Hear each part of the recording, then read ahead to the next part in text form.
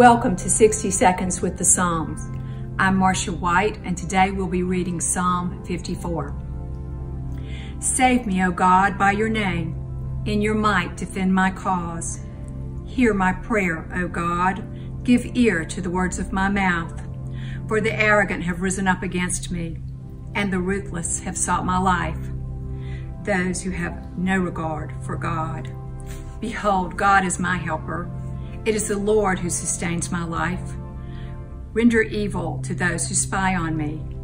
In your faithfulness, destroy them. I will offer you a freewill sacrifice and praise your name, O Lord, for it is good. For you have rescued me from every trouble, and my eyes have seen the ruin of my foes.